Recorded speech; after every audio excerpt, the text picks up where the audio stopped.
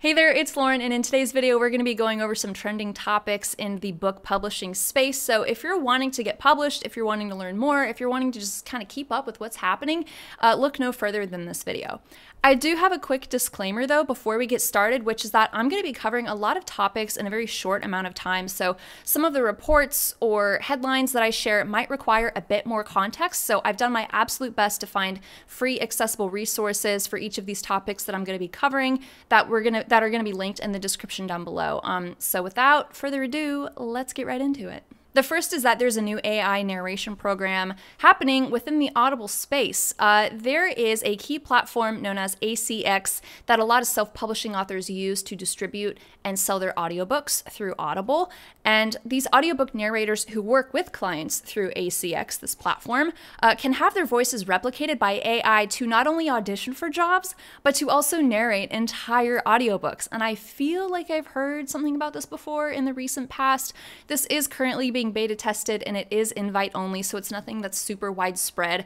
Um, but I do have a quote that I pulled from the resource that I got this from, which is a paid newsletter that um, I pay for. So I, I can't share the article with the exact wording, but I'll do my best to, to find something that's a good substitute for it. Using production tools, narrators can edit pronunciation and pacing, ensuring their voice replica productions maintain high quality standards. Now, you might be thinking, what if AI exploits these narrators and starts using their voice for all kinds of other projects? Don't worry, Audible has already said that it will not separately use a narrator's voice replica for any other projects or content without their approval. So, if you want to learn more about this, I've got a link uh, covering this in the description below.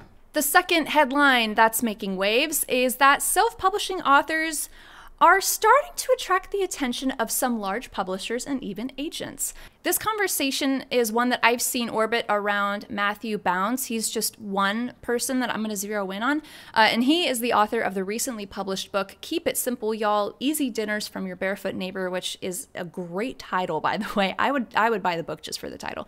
He launched his book this past July and has attracted the interest of not one, but two publishers, including Penguin Random House and even some agents.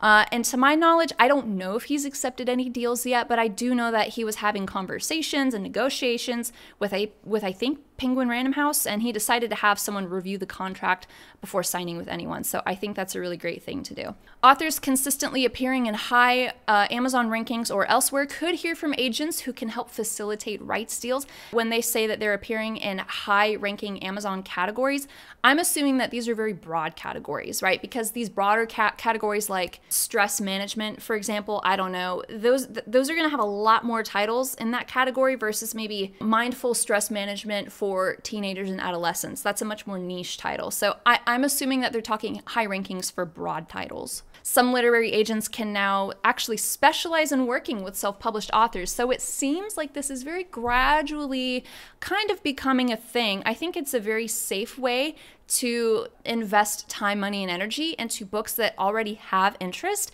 I'm almost kind of thinking of it as um, almost kind of like a trial mode where it's like, oh, self publish it yourself if it seems like it's performing performing well and there's a lot of interest in it, then you know we you know there might be some interest in publishing it or representing it or something. So it's definitely a very new and interesting approach. I don't feel one way or the other on it. I think I'm more interested in getting more information before I place my own opinions out there. Um, but a lot of agents still receive a lot of their clients through submissions or referrals.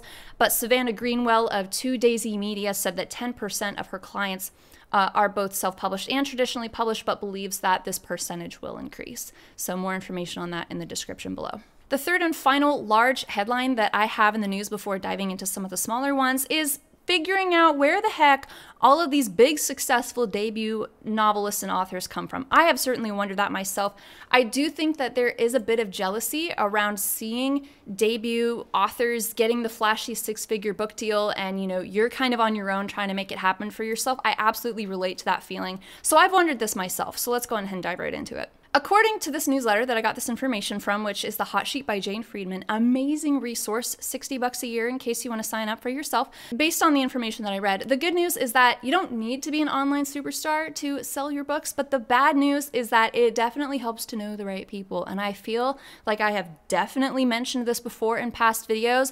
I have compared the publishing industry to being like a really small neighborhood where everyone kind of knows each other. And if you know someone who lives there and has lived there for a long time, time, it's easier to kind of be introduced, right? So it's it's a very interesting uh, community for sure. So this particular analysis looked at 131 book deals reported to Publishers Marketplace, a very reputable website uh, and resource for all kinds of industry people as well as authors between April and August of 2024. So this is not representative of all book deals that happen. This is just a very particular pool from a very particular point in time. It's just meant to be a conversation starter and kind of give you an idea of how some stuff works. So, anyway, these 131 book deals generally fell into these seven categories. The first one being the literary and university community.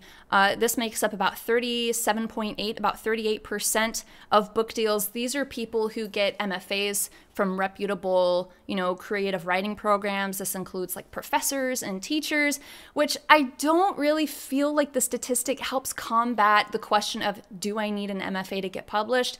My answer would be no. There's definitely more than one way to make two numbers add up to 10, but according to the statistic, and the numbers don't lie, they just need context, you know 38% of people within this particular time frame with this particular pool of data that was collected did get a book deal through their, um, you know, university connections. And an example of someone who did succeed in this area was Emily Ruskovich. Uh, she published an award-winning book called Idaho that was published in 2017, I believe, uh, and she graduated from the Iowa Writers Workshop. I actually made a video semi-recently about um, three authors, big, mid-list, and smaller, um, and what they did to be so successful in their authorship. Definitely check that out if you're interested. I'm going to put a little tag up here somewhere. The second category is 16.5%, which comes from the journalist and media community.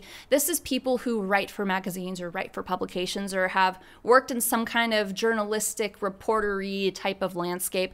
Um, John Green actually wrote for Booklist uh, before publishing his smash hit and debut novel, which was, I think, Looking for Alaska. Also mentioned him in that video that I mentioned. The third category is the TV, film, stage, and entertainment category, where roughly 12% of book deals happen. You know, these are writers, producers, screenplay people. And I actually read one book about a woman talking about her experience in the entertainment space. Her name is Patty Lin. She's an award winning TV writer. Highly recommend that book. I think it's called End Credits. Came out maybe a year or two ago. It was pretty good. About 9% come from the publishing industry itself, meaning like maybe there's these are past editors, maybe these are, you know, editorial assistants. These are people who have worked in the publishing space themselves.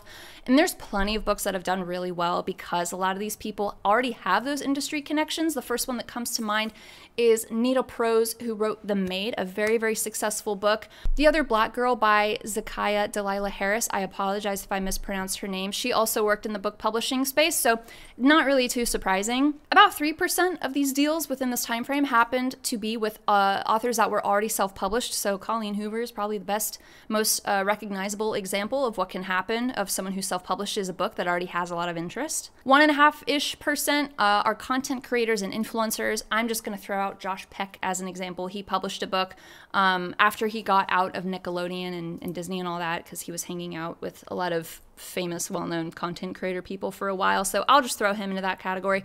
And then there is a pretty large chunk of people that aren't necessarily accounted for. This is about 21% of people that belong in the not obvious category.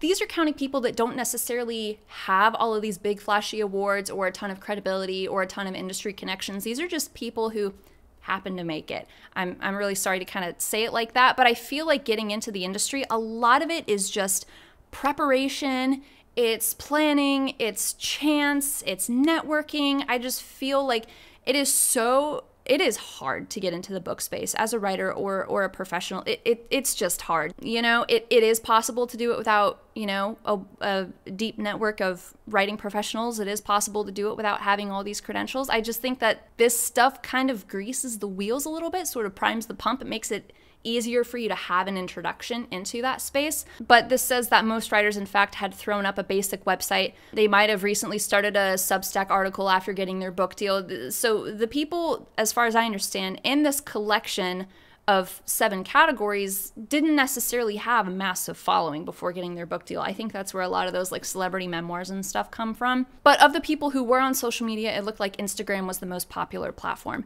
And I don't have a link to this particular headline. I, I looked around, I did my absolute best, but everything was behind paywalls. So if you want me to take a deeper dive into this particular topic, definitely let me know. Now for some of the smaller headlines. Apple cuts staff from Apple Books. Um, it looks like books are going to be less of a focus for Apple going forward because it seems that there isn't as much money in it as they maybe thought. So if you want to learn more about that, information's in the description. It looks like there are also changing trends when it comes to book covers. I've seen a lot of stuff about old timey animals. So I guess that's a thing now. And also, another uh, book cover design professional person out there believes that solid minimalist book covers will also become a thing. Information about that in the description down below. And then finally, a uh, there was a Midwestern writer that examined issues of class in the literary community. Uh, Brandon North offers uh, an overview in this particular article in the description of what's been written in recent years about class, authorship, and money. I think all those are really, really great, important topics to cover. But really, that's all I have. I tried to make this as short, sweet, and accurate as possible. But like I said, some of the stuff I might have said might require more context, so please educate yourself if you want to learn more about that. I just want to respect your time, give you exactly what you need without taking up too much time. So that's all I have. I hope you got something out of it. If you did, please consider liking and subscribing. It helps other people discover the channel uh, who could also benefit from it. And that's all I have. I'll see you in the next video whenever that is. Take care until then. Bye.